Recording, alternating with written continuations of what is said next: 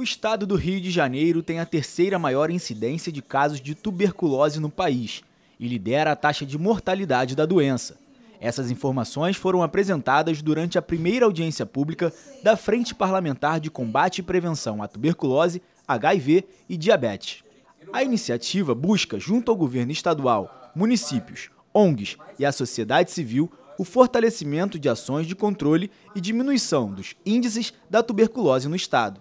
A LERJ destinará, até 2025, mais de 246 milhões de reais que vão ser utilizados de acordo com as necessidades estabelecidas no plano estadual que trata sobre o tema. A saúde hoje ela tem tem buscado, como foi apresentado aqui, pelas ações que foram, é, que estão sendo desenvolvidas, muitas delas já realizadas, muitas ainda por, por realizar, ela vem dar um fortalecimento para que as estruturas municipais consigam dar conta da sua responsabilidade. É uma responsabilidade local, é uma responsabilidade municipal, é uma responsabilidade da atenção primária, cuidar da pessoa que tem, que é portador da tuberculose, mas de alguma forma né, existe uma necessidade de governança do nível superior para dar conta de, de, situações, por exemplo, fortalecer um laboratório, né, fazer a manutenção de equipamentos que muitas das vezes o município não consegue. Então, o que o Estado hoje está fazendo, né, em parceria com os municípios e com apoio, obviamente, né, da LERJ, a gente tentar fortalecer essas equipes e dar visibilidade dentro do território local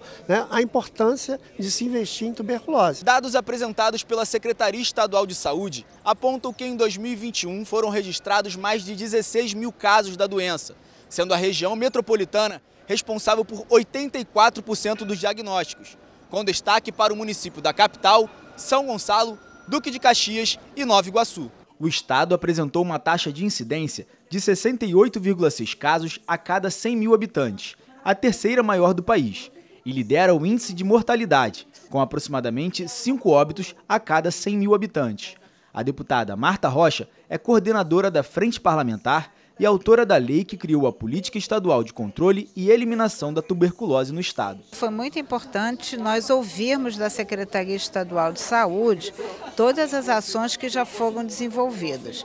É bom que se diga que ao longo de é, cinco anos estaremos liberando 248 milhões e que os dados trazidos pela Secretaria de Saúde dão conta do recebimento e do investimento de quase 100 milhões. Então, a gente percebe que em torno de 50 milhões ao ano, que era a previsão que foi concedida quando se,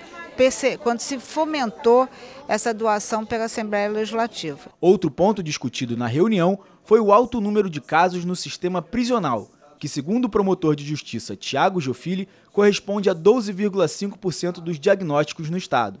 Para o deputado Tandy Vieira, presidente da Comissão de Saúde, é preciso identificar os problemas que contribuem para a evolução dos números e tratar de forma individual cada situação. A Frente Parlamentar vai realizar a próxima audiência no dia 10 de outubro, com a presença de representantes da Secretaria Estadual de Administração Penitenciária, Casa Civil, Defensoria Pública, Procuradoria-Geral do Estado e da Secretaria Estadual de Saúde. A Secretaria de Estado de Saúde tem feito um trabalho muito bom, a criação de um plano de enfrentamento para essa questão. E um dos pontos que a gente percebe que são nevrálgicos é a questão do sistema prisional.